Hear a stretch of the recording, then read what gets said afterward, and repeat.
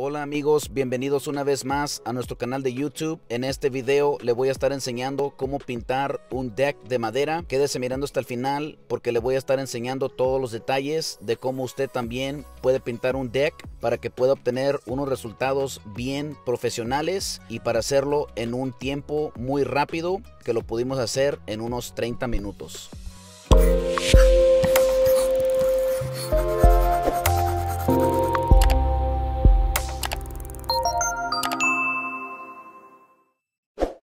Si usted quiere aprender cómo hacer todo tipo de trabajo en construcción o renovaciones de casa, entonces está en el mejor lugar aquí en YouTube. Considere suscribirse a nuestro canal y active la campanita de notificaciones para que no se pierda ningún video que vamos a estar subiendo en el futuro. Para poder pintar este deck de madera en unos 30 minutos, lo primero que va a querer considerar y hacer es empapelar toda la casa alrededor de la puerta y todo para que eso es lo que tarda más tiempo.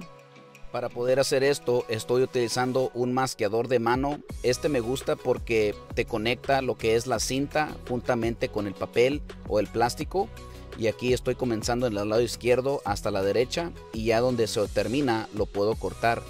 Y así están quedando los resultados todo alrededor, asegurándome que la cinta azul vaya pegadito a la madera porque voy a estar pintando especialmente de arriba para abajo y de acá de este lado hacia la casa.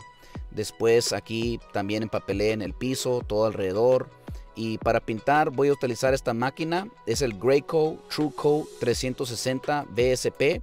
Tiene un contenedor, un frasquito que le puedes llenar con pintura. Y creo que este lo llené como dos veces y con eso fue más que suficiente para pintar todo. El stain y pintura que voy a usar es el Bear Premium. Se llama Russet semi-transparent, es para contra el agua, es stain y sellador juntamente y esto te va a ayudar y proteger el, material como unos 6 a 8 años. Ya después que más o menos empapeleas la, todo pegado a la casa, ya puedes comenzar a pintar como aquí.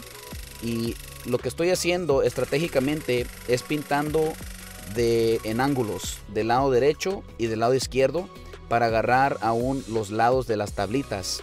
Y luego, y luego le doy abajo alrededor de los postes. Como en este caso primero comencé arriba le pinto todo. Y luego de ahí le doy en, cada ángulo de, para pintar los barandales de todo. Y así le doy en los postes también te recomiendo que tengas una brocha porque a veces cuando estás sprayando avienta bastante pintura y ya con la brocha le puedes dar una pasadita para poder quitar cualquier gota o cualquier exceso de pintura. Lo puedes controlar fácilmente con una brocha y así puedes seguir avanzando. Pero la gran mayoría de todo este trabajo es la preparación de empapelar, la máquina y todo eso. Eso es lo que tarda más en sí, este proyecto yo me tardé como unas dos horas, dos horas y media en todo. Pero mire, ya después quité todo luego, luego. Y así son los resultados. Cómo fue transformado este porch de madera. Así era como se miraba anteriormente después de pintarlo. De hecho, esto lo lavamos. Y ahorita ya después de que lo pinté, cambió completamente. Un color cafecito oscuro. Verdaderamente renovó todo.